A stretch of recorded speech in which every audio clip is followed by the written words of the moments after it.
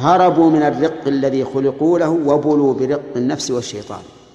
هذا البيت لو كتب بماء الذهب لكان رخيصا هربوا من الرق الذي خلقوا له. ما هو الرق الذي خلقنا له؟